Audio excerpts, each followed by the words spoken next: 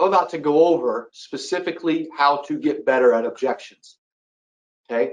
One of the first things you have to do is realize that what is the number one rule of sales? What is the number one rule? Even if you guys have heard a little bit of this before, it doesn't matter. You need a refresher, right? Which is why you're on. Okay, Jesse, thank you for joining. The number one rule of sales, right? What is it? What is it? It's to Did some of you guess it correctly? It's to agree. The number one rule of sales is to agree. Number one rule of sales is to agree. Number one rule of sales is to agree. Number one rule of sales is to agree. Most people aren't agree aren't in agreement enough. It's natural to be combative, to be disagreeable, to be negative, to get angry when someone when when someone gives you an objection, right? The number one rule of sales is to always agree. So I trained the State Farm team the other day too. When someone says, "Ooh, I don't like talking about life insurance," I'm with you. I don't like talking about either. However, because of everything going on in the world right now, we are getting more people attempt to qualify for life insurance right now than we've ever seen. So because of the high demand and because everyone else is doing it too, I naturally assumed that even though we don't want to talk about it, we should. And I'm assuming you have some type of coverage somewhere, right? Textbook textbook, it follows what, what I'm about to share with you, which is the three-step process to overcome any objection. Okay, agree with them. Right? Dude, I don't like you. I understand. Most people don't until they get to know me, you know? I'm pretty hardcore and I apologize for that. But while I got you on the phone, let me ask you this. Textbook. And the thing is, a lot of people watching right now can do what I'm talking about right now you can do what I'm doing. When you hear something, all right, Carla, thank you for joining. When you are hearing this, you can do it too. It isn't rocket science.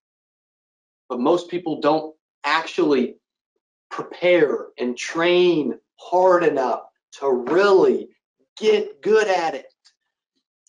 I used to be really bad at objections. I'm also going to give you a secret at the end in about 27 minutes on, on, on why I was actually better at it than most people and why I'm ridiculous at it today on overcoming objections and closing. Okay. Chesney, thank you for joining. Okay, I'm gonna go. I'm gonna go over that secret, and it's unflippin' believable. Also, the recordings of this, of all these webinars, are in the membership. If you didn't know it and you're trying to reference it and you're trying to go back and watch it, you can't. You got to go in. You got to be in the membership to get access to all these recordings. Okay. So what does that look like for you? When you're hearing these objections, what are you thinking? When you're hearing these objections, what's your number one go-to? When you're hearing these objections, what what comes to mind? When someone gives you an objection, they're like, "Hey, I'm not interested." Are you pausing? Are you hesitating? Are you not know what to do or not know what to say? Are you thinking, oh crap? Or are you prepared? I'm hoping it, it ain't pausing and and and and uh, uh, and not knowing what to do or what to say, right? I'm hoping that you're using some confidence because here here's the here's the three-step process that I use and that I train to overcome objections. First step, agree. How do you agree with what they're saying? Right? I don't need life insurance. Saying everyone needs life insurance is disagreeable. It's true, but it's disagreeable, right? The, well, they're going to be totally turned off at you when you say, if they say I don't need it, you're like, that's stupid.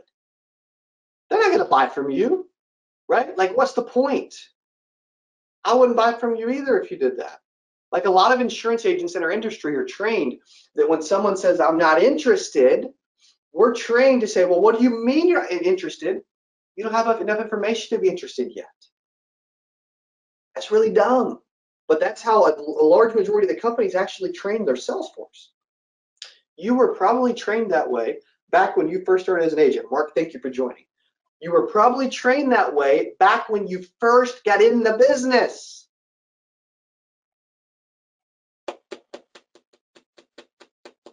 Get the idea? Always, always, always agree. I'm going to give a bunch of live role play examples later, right? Cody, I don't have time. I'm with you. I don't have time either.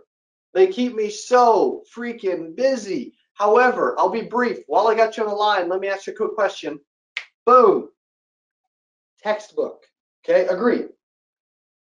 Always, always, always agree. I don't care what it is. It doesn't mean you you 100% it doesn't mean that you're on their side of the fence with whatever they're saying. It means that you under at least are trying to understand where they're coming from. Okay. I'm not saying to change your beliefs, right? Because a lot of, lot of, lot of sales trainers out there, I hate this. A lot of sales trainers out there are like, just morph your personality to theirs, you know. And when they say something, uh, just change your beliefs and and and and and admit that you love what they're saying, right? they say a lot of prospects say a lot of dumb stuff that I don't I don't believe, but I can understand where they're coming from. And if they've got a dull personality, I'm not going to change my exciting personality to be dull just so that I can morph into this creature that makes sales based on like different personality types, you know?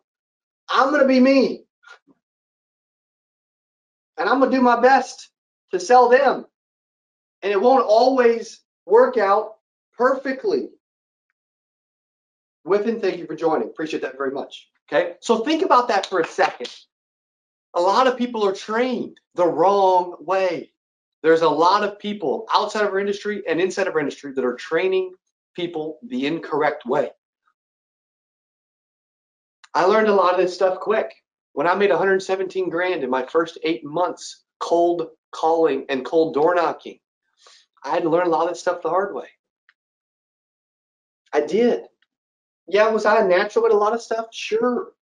Okay. But that doesn't mean that you can't become a natural at something. Like I'm a believer that no matter how awful you think you are, no matter how far away from greatness you are, that you think, no matter how far or how, how difficult it seems, right? I'm a believer that you can get there and end up being great at that topic. I'm sold on it.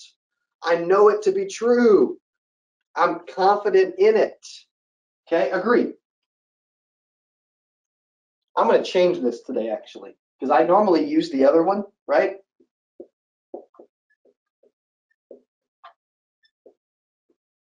Acknowledge. Normally it's answer, right? It's the same. Okay, for telesales, I'm, there's a reason I'm using acknowledge. Okay, same idea, same thing, same theory. It could be agree answer, that's fine. But really, what you're doing is you're acknowledging that you heard them. You're ignoring without blowing them off. That's what's happening. That's what's happening. You're acknowledging them. I hear you. That's it.